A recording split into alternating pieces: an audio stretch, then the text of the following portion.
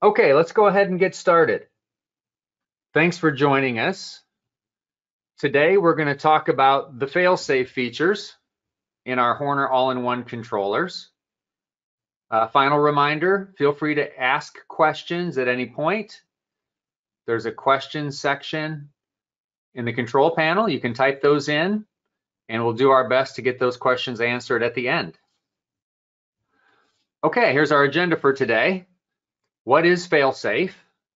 We're going to cover OCS memory architecture because if you have a better understanding of how OCS memory is organized and how it works, you'll have a better understanding of how fail-safe can work. We're going to talk specifically about two important fail-safe features, one called backup and restore. That's probably the most important one. So if you take nothing else from this uh, presentation today, definitely pay attention to backup and restore. Auto load also provides some useful features or useful capabilities, although they don't come into play quite as often as backup and restore could. We're also going to talk a little bit about cloning. Cloning is not directly a fail-safe feature, but it is related and it's also very useful. And I thought it made sense to talk about it during today's program. And then as always, we will have questions and answers at the end. All right, let's talk about fail-safe features. Okay, what are fail-safe features? Uh, they're a set of features designed to keep machines running, designed to avoid disruptive program loss and memory loss. Now, the most common issues that a machine could run into over the life um, of the machine. The most common issue would probably be a battery issues.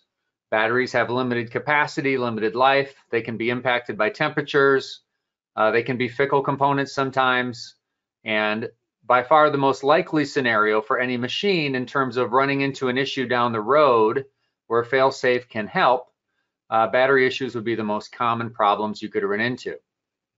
It's also possible to have things like memory corruption, but in these days, in 2020 in electronics, those are much more rare.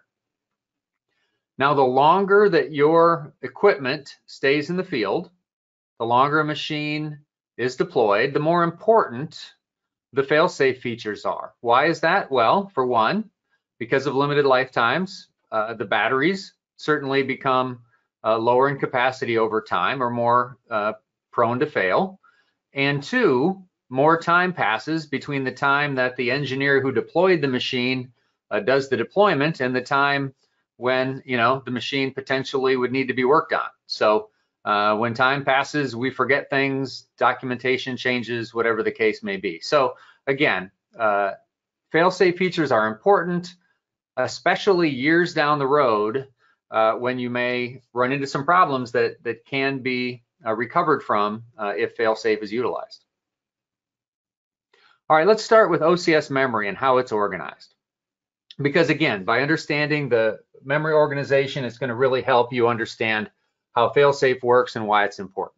Okay, there's two main types of memory in, uh, in the OCS all-in-one controllers. And again, OCS stands for Operator Control Station. It's just our product name for our family of all-in-one controllers. And all-in-one controllers, for all intents and purposes, are PLC-like products that have operator interface, networking, and I/O capability all built into a single package, all with a single software package for programming. Okay, but whether you're talking about a PLC or you're talking about one of our OCS all-in-one controllers, there's two main types of memory we need to talk about. First is RAM. So this is fast memory that is typically used for variables or registers, okay? Um, typically, it must be powered to retain that data.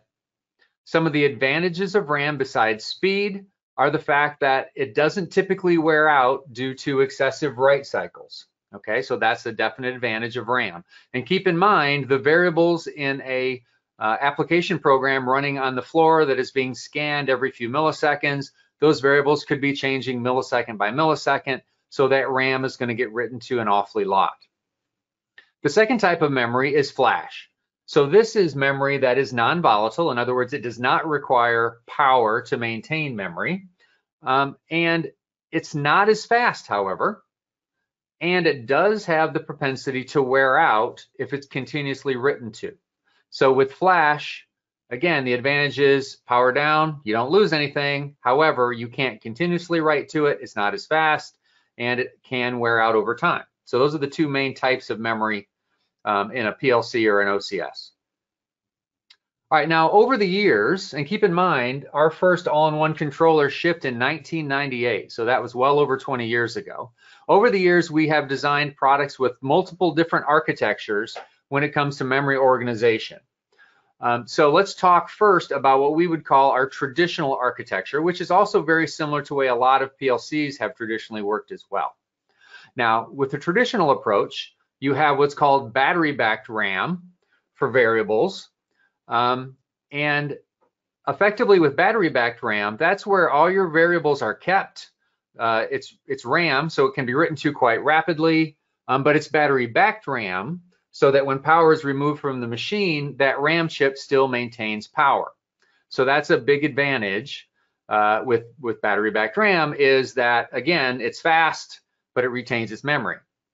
Um, the disadvantage is it takes a battery to maintain that power uh, or maintain the values when power is removed. And over time, the more time that a machine is powered down, uh, the less capacity or the less life remaining that that battery will have. So that's the, the disadvantage to that approach. Now with the traditional architecture, flash is where the application program is traditionally stored. And it does take a pretty good sized battery uh, to keep that RAM alive over the life of the machine or over a several year period, considering that'll be powered down from time to time. Now, in the case of the traditional architecture, as, as it relates to the Horner all-in-one controllers, typically if you lose your battery and you don't do anything uh, as a preventative measure, you don't utilize any of the fail-safe features, you're going to lose your variables, your program, and your time and date is going to go back to 1996 or something. So it can be a catastrophic event if you lose your battery and you don't take advantage of failsafe. The types of products that utilize traditional architecture are going to be the XLE and XLT and their new Ethernet versions. Uh, the entire micro series except for the X5. We'll talk about that product a little bit later. And then the new XL Plus 15, even though it's a brand new product, um, we thought that the traditional architecture was the right approach for that product. So one of the advantages of this approach with the traditional architecture is that it's relatively inexpensive. Um, so you tend to see that in the lower cost products, that approach. The next architecture that's out there with Horner all-in-one controllers is what we call our rechargeable battery architecture. So this is a little bit different. Okay, why did we ever start utilizing an architecture with battery backed, I'm sorry, with rechargeable batteries? Well, mainly because 10 and 15 years ago, uh, and even more recent times, more and more microprocessors were designed around mobile devices such as phones, iPods, etc which ran from rechargeable batteries. So they those CPUs were really designed to use rechargeable batteries. So as those CPUs became attractive for use in automation applications, such as with the OCS, we started using them, and then we also started using them with rechargeable batteries. Now, in this scenario, uh, RAM is where variables are, are written to at runtime. So the entire time the unit's powered up, uh, RAM is where variables are held. You also have some checksums that are maintained in there for memory integrity. Um, and flash is where the application storage is handled, okay? However, when power is removed from the system, okay, the power management chip on board will detect that power has been removed and it will allow the system to run off of battery for a short period of time.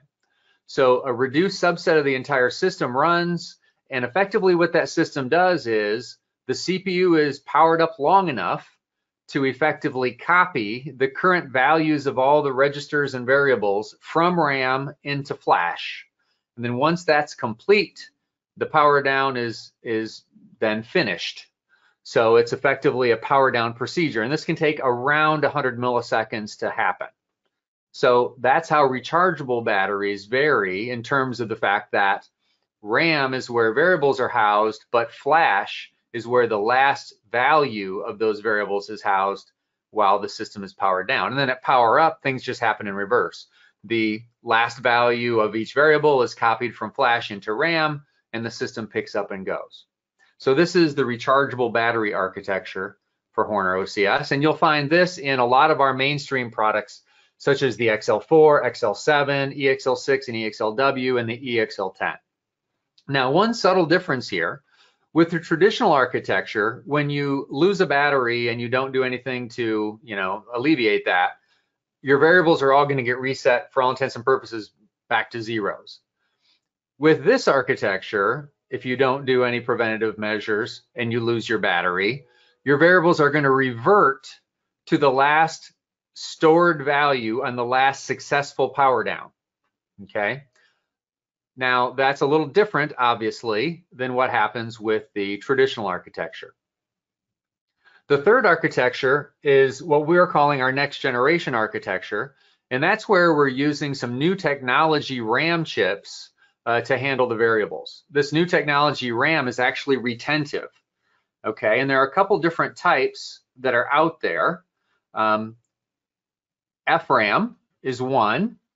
Now, it has some limitations in terms of its speed and its capacity. And so we've only used FRAM really on one product so far. And then there's also something called MRAM, uh, which is magnetoresistive RAM. And while that's a little bit more expensive, it doesn't have the speed and the capacity limitations that FRAM has. And it has the huge advantage of not requiring a battery to maintain register values. So moving forward, as we release new products, you will see MRAM being used.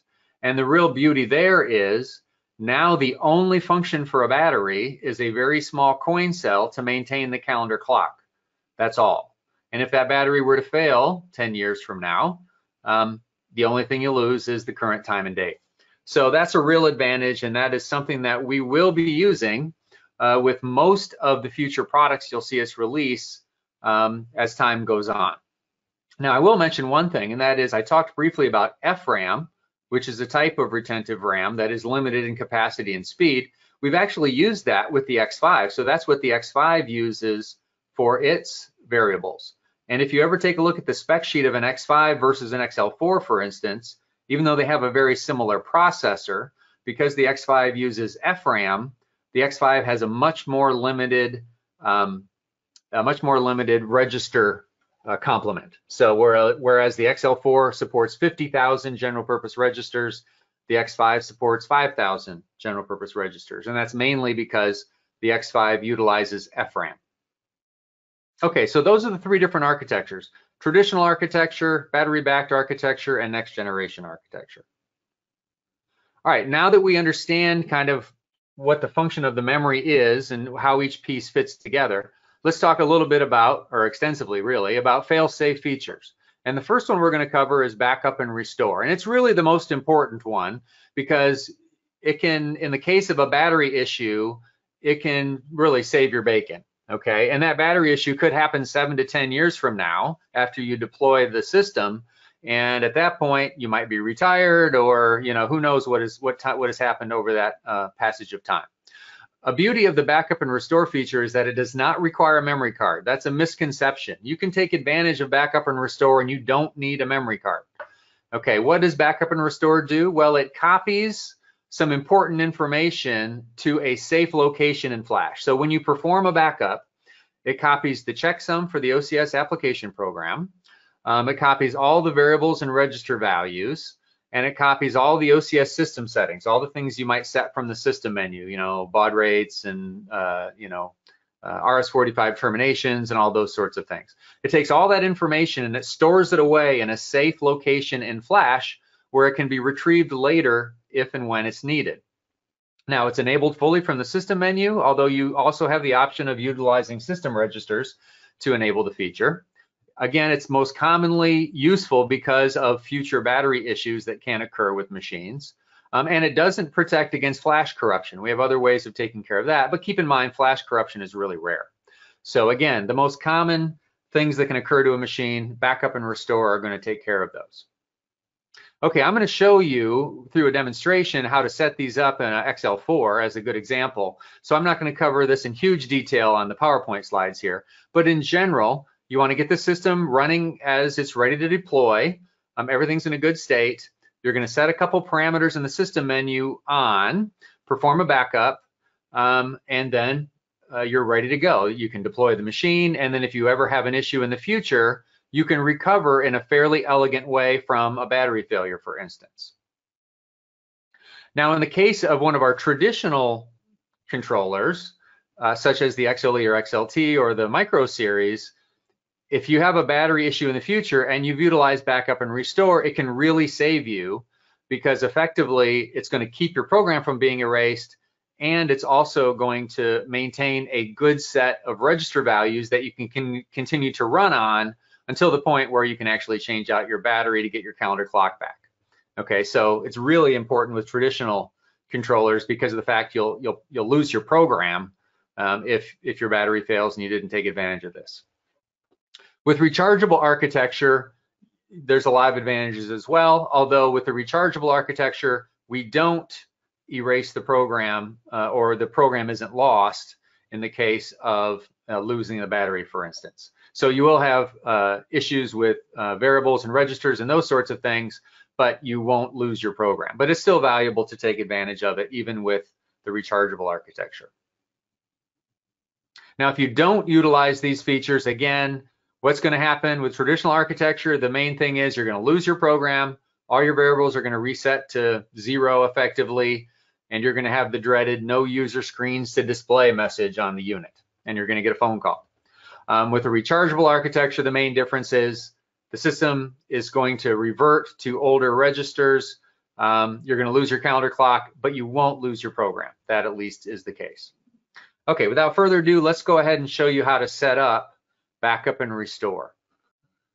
Okay, let's start looking at our fail-safe features, starting with the most important one, and that is backup and restore.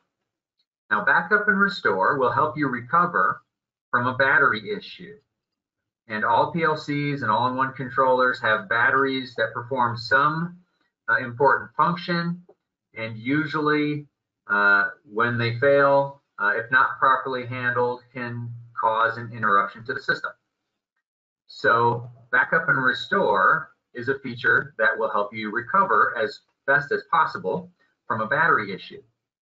Another important thing to know about backup and restore is you do not need a memory card. No memory card is required. We can do it all from the system menu. Now, we want to start from a point at which the program is running the way we want. We have all of our system settings. Everything we would normally set from the system menu is set the way we want as well. And we're running the application program that we want with the variables all with their proper value. Okay, so that's our starting point. Let's go to the system menu, go to fail safe, and start by enabling auto run. Auto run means that if we ever have to recover using fail safe, we are going to recover and then go into run mode automatically, which is typically what we want. The next step is to perform a backup, which we do here from backup and restore data. What does a backup do? Well, it takes a copy of the checksum for the current application program, plus a copy of all the current system settings, all the things that we set from the system menu, etc., and a copy of the current values of all the variables and registers in the program, and store all that to a safe area of flash. And then if we ever have a battery problem in the future, we can recover from that by loading in this known set of good data. Now, it won't be the latest data because maybe the system ran for years, okay, but it will load in uh, a good set of known data, allowing the system to recover until the battery can be replaced um, and the system can be fully brought up to 100%. But at least your program will be running with a known good set of data. Okay, so now that we've performed these steps, of enabling auto run and performing a backup. Now we're ready if we ever have a battery issue. So the next step is I'm going to go ahead and take out the battery. Now we're going to illustrate how backup and restore can help you recover as good as possible in the future if you have a battery failure. Okay, so this unit uh, does not have a battery in it. That's how we're simulating the failure. Uh, we've made some adjustments to our parameters. They're not exactly the same as they were when we uh, first started running the unit. Okay, let's go ahead and perform a power cycle with a bad battery or a missing battery. And let's see what happens. Okay, we're powering up. We should get a battery error. Self-test, battery voltage problem, self-test failed. However, we did recover. Okay, you'll notice that these values are not exactly the same as when I power down, but they do match the values when I perform the backup. And if I go to the system menu, you'll see the OK light is off. Well, why is the OK light off? Because we have a bad battery. But we are in run mode and we are operating. The other thing that has happened without a battery is our calendar clock is not able to keep current time.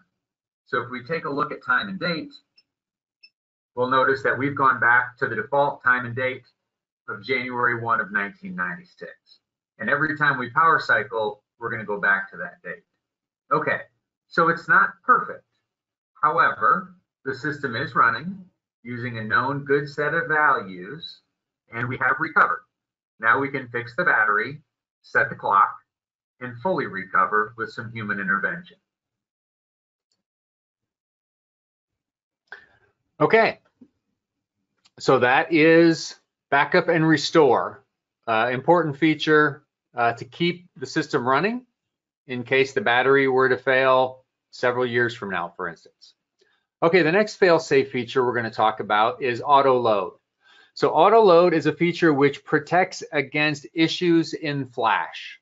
Uh, flash corruption, which is you know rare, um, or it also can protect against accidental program deletion. You know, maybe there's a Homer Simpson moment where somehow from Cscape somebody accidentally deletes the program and there's no backup copy, um, or probably more uh, commonly, a failed or aborted download where you start downloading a program to an OCS, it gets interrupted for whatever reason, and now there's no valid program running in the controller.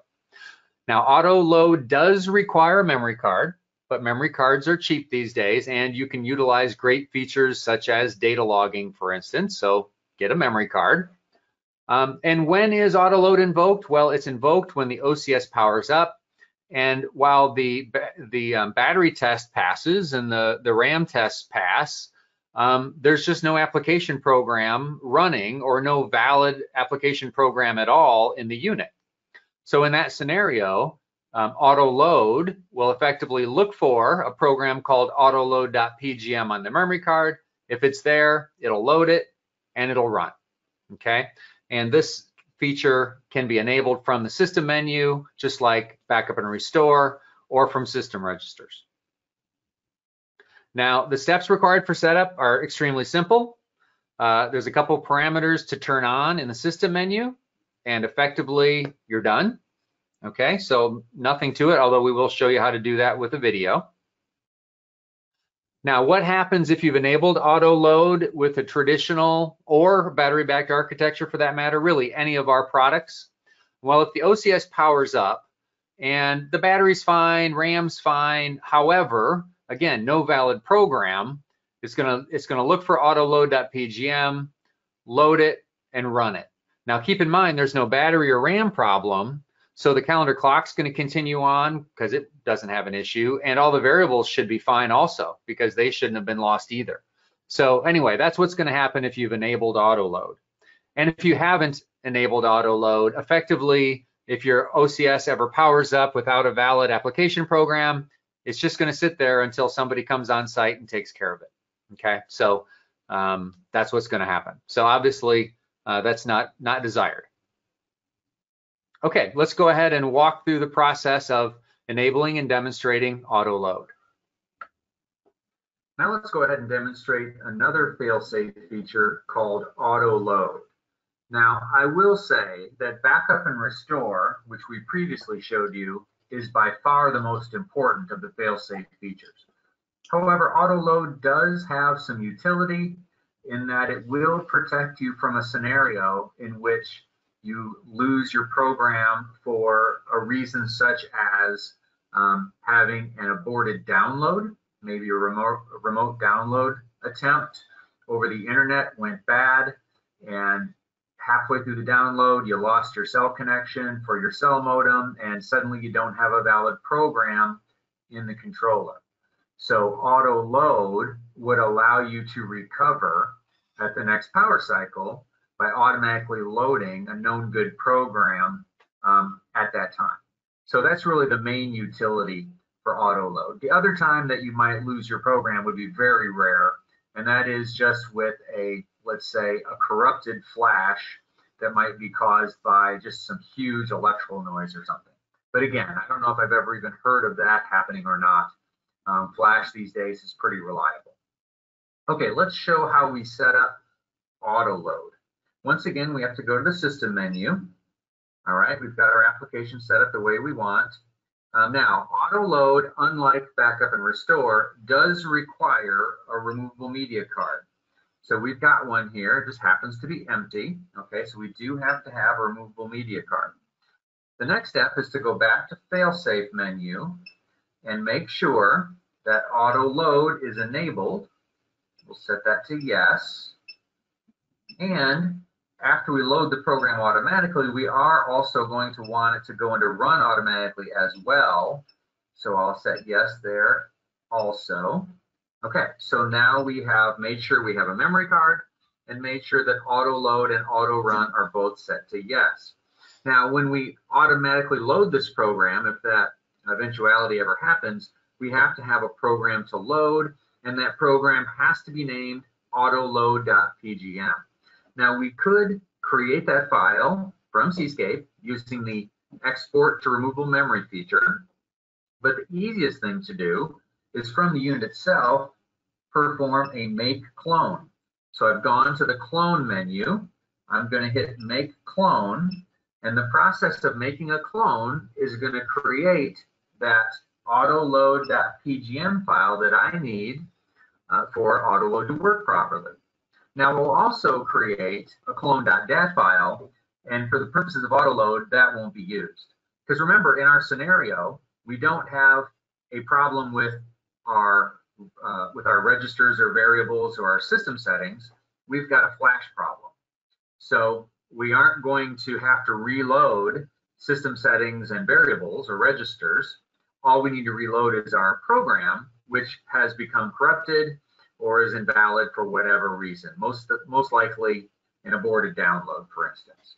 Okay, so now we're set up properly.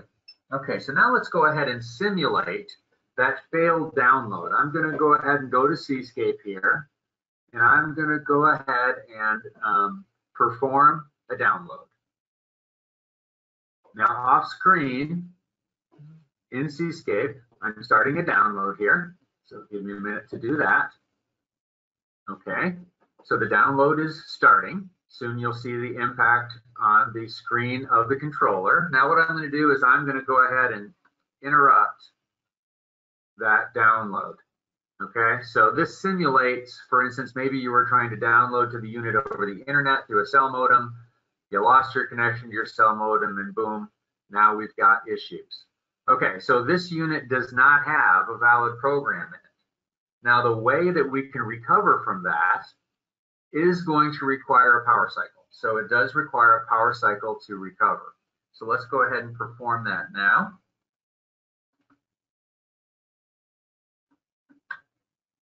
Okay, so I've reapplied power. And let's keep an eye on the diagnostic messages. Uh, we have errors corrupt user tables. We're initializing our auto load and then run. We're loading from memory card and we have fully recovered. If we go to the system menu, we'll see both OK and run are on. Now this had nothing to do with the battery. So our time and date and all that sort of thing is still just fine. Okay. So again, this illustrates auto load, whose main goal is to restore a valid known program should the unit ever power up with corrupted flash or with an invalid program, maybe because of a aborted download. Okay, so that is auto load. All right, so really what you want to do, especially if you've got a memory card, is you want to just go ahead and set, set both of them up. So don't just use one or the other, use them both. If you have a memory card, because that's required for auto load, just use them both. So in this next quick demonstration, I'll show you how the proper steps to take to set them both up. Again, you'll need a memory card, uh, but this will give you both backup and restore and auto load capability.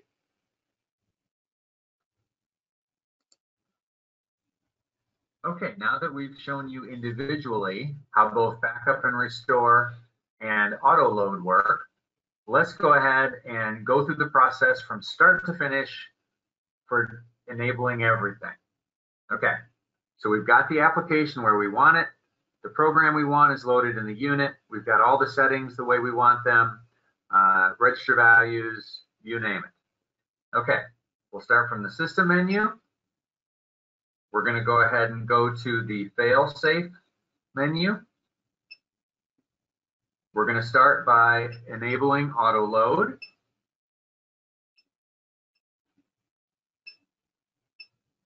Now we're going to enable auto run.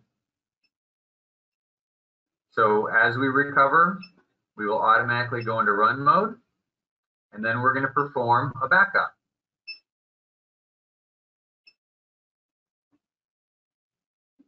Okay. Now, in order for auto load to work, we need to make sure that we have a memory card installed and a autoload.pgm file. Keep in mind, if we don't have a memory card, we can still use backup and restore, which will protect us from a battery issue, which is very valuable. But if we do have a memory card, we might as well go the rest of the way and make sure that auto load works as well. So the easiest way to make sure autoload.pgm exists is at this stage, let's go ahead and make a clone because the system is just the way we want it. Okay, we're done. So in probably less than a minute, we protected the unit against battery failure, against some strange loss of program because maybe of an aborted download or some uh, some flash corruption issue. But anyway, uh, some eventuality that could occur several years from now, uh, we're protected by enabling these fail-safe features. Okay, so that's a rundown of how to use backup and restore and as well as auto load. Now, in my demonstrations, I showed you how to do it from the system menu. That's by far the most common but you do have the ability to manipulate system registers uh, to do a lot of these same functions, at least for the setup, for instance. So with backup and restore, you can enable auto run uh, from ladder using a system bit. Uh, you can perform a backup uh, using a system bit, you know, by manipulating that 164.7 bit. Um, so you can do a lot of these features from ladder that you could do from the system menu. Now, one of the advantages of the perform backup bit that you see listed there is that you can actually, over time, you can make newer backups um, so that if you ever lose your battery, you'll revert back to registers which are more recent if you want to do that. If that's important to do that, if you don't just want to get the machine back to a known default state when it was deployed, if you want a more recent set of variables, for instance, you could reasonably uh, create a backup from ladder every day. You could do that and you wouldn't wear out your flash. However, if you got crazy about it and you try to do it too often, you could impact the life cycle of your flash chips. So, you know, once per day is certainly appropriate. You'd need to be really careful about doing it more than that, for instance. But again, even though I showed you how to do everything from the system menu, you can do it from system bits as well. All right, next let's talk a little bit about cloning. Now, as I mentioned before in the intro, cloning is not necessarily a fail-safe feature, uh, although it's related. You saw we performed clone so that auto load could work. Um, but let's talk about cloning because it's really valuable. So cloning specifically is a feature that allows system designers um, to replicate exactly the operational state of one of our all-in-one controllers to an identical unit. So this only works if you're talking unit to unit being identically the same. So XL4 to XL4. It doesn't work XL4 to XL7, for instance. Um, but if you want to clone, you know, you're an OEM, you're doing production, you're shipping units out every week, you've got a golden sample on your machine, uh, you make a clone on the golden sample, and then you take that file set, that memory card that's got autoload.pgm and clone.dat. You take those two files on a memory card, and then you put them in blank units and load clone uh, and basically replicate that same golden unit as you ship units out the door. So that's really valuable from a production standpoint. It also can be valuable if you've got that clone uh, file set, you know, autoload.pgm and clone.dat. If you've got that on the memory card and you ever have to replace a controller for whatever reason, you can pop that memory card out, put the pop it in the new controller and at least get back to the same point you were at when the clone was created with that new controller. So that's really valuable as well. Okay. And also just to keep in mind, if you do have security enabled uh, in Cscape to protect your intellectual property, in other words, you know, you don't want uh, somebody out there copying the program and putting it in another unit uh, and trying to kind of steal your intellectual property, that's not a problem. Um, when you go to load a clone, if there's a password in there, it's going to ask for it. So nobody unauthorized is going to be able to load a clone again without the appropriate uh, uh, authority. And once again, you can do cloning from system registers, even though that's a little less common. It's still possible. Um, there are system bits available uh, for that function. Okay, so that is our presentation for today. Let's get into questions and answers here. Let's see what questions we might have. Okay, could you create a warning? This is kind of a suggestion. Could you create a warning in Ladder to warn a user to replace the flash after so many writes as sort of a maintenance feature? Uh, in theory, it could be.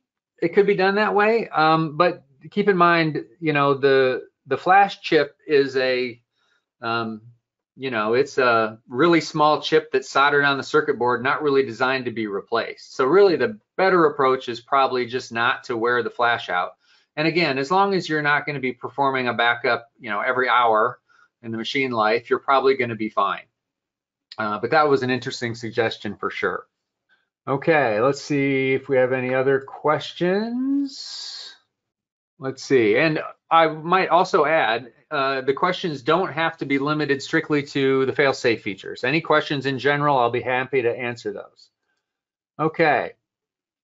Can you display the date and the time of the last known backup?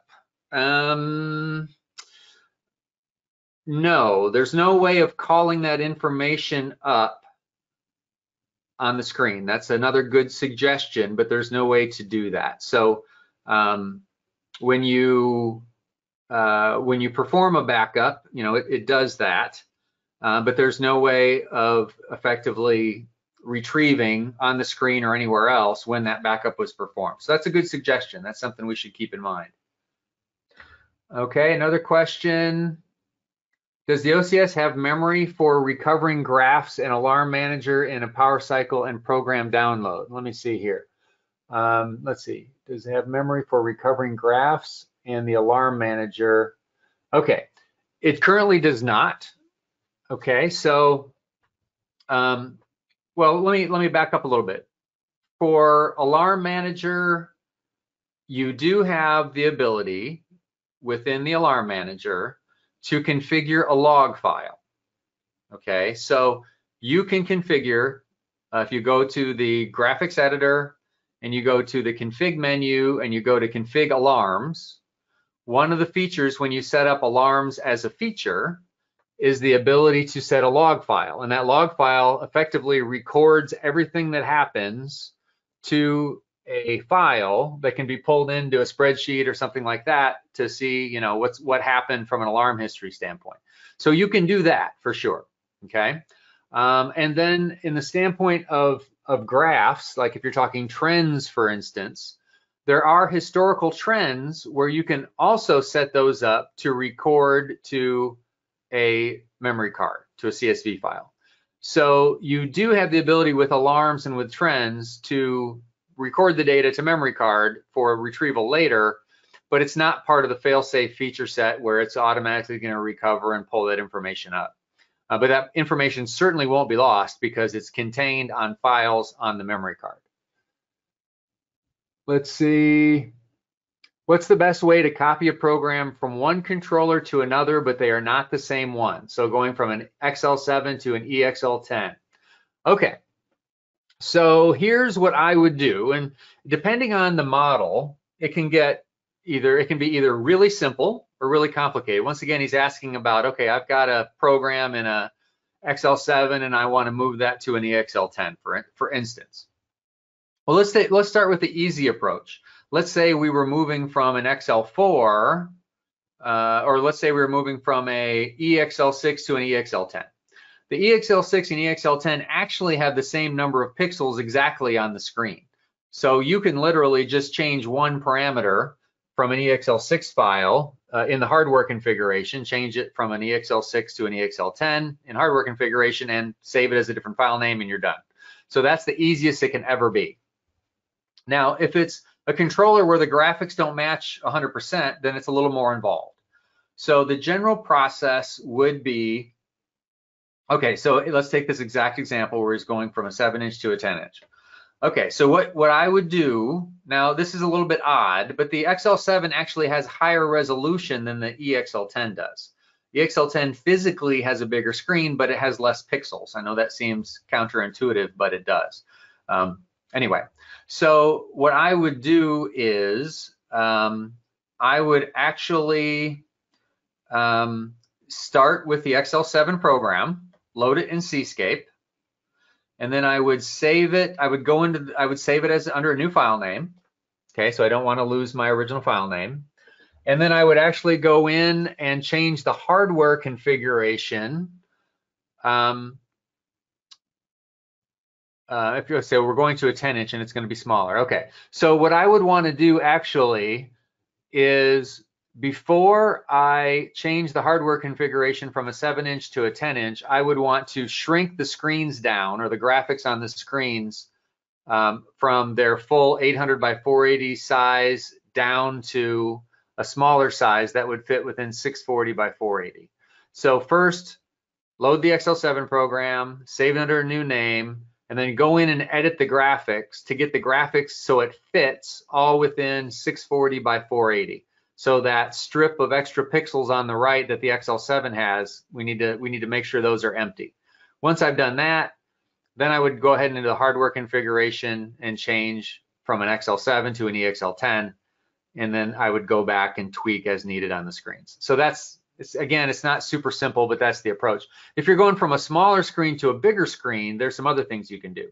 From a smaller screen to a bigger screen, open up the file from the smaller controller, save it under a new file name, go to the graphics area, and then there's a feature in graphics called expand all screens, something like that. And you can do that and it'll go ahead and stretch all your screens from the small to the big. And you can see how that does. And if you're if you're if you're not going if the change isn't like from an XLE to an XL Plus, for instance, it might do a pretty good job. And then all you have to do is go in and tweak the screens a little bit. Um, and then, you know, and, and then then you're off and running. So again, it varies depending on which controller you're going from. Hope that was helpful. Um, okay, so how do backups and clones and firmware versions work? Very good question. Outstanding.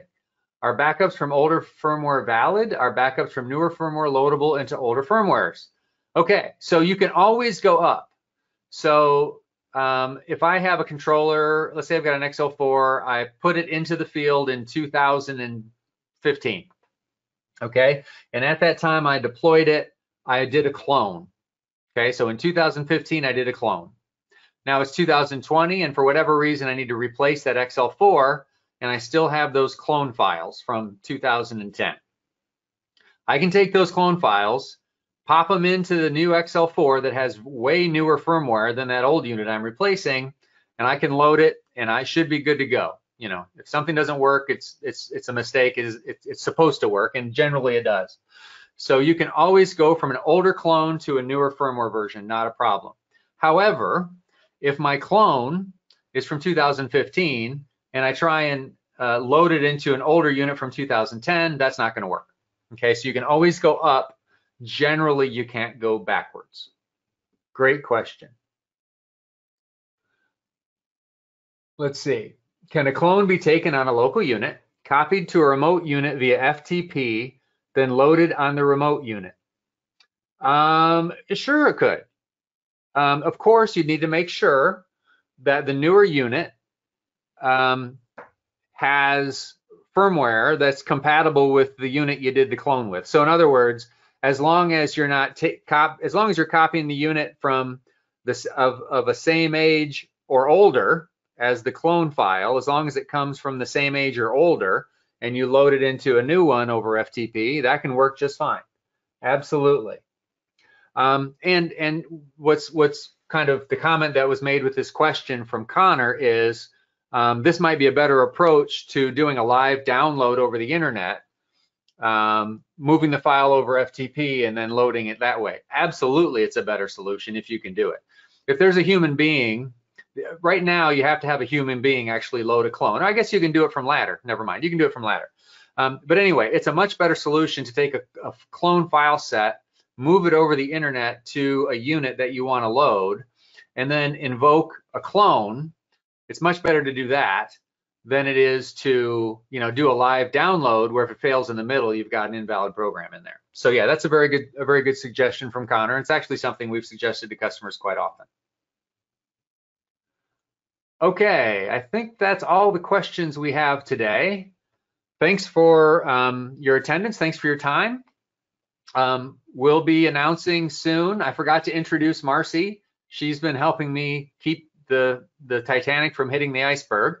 Um, but Marcy will be sending out an announcement with uh, our October webinars uh, in the next few days. So keep an eye out for that. And thanks again for your attendance.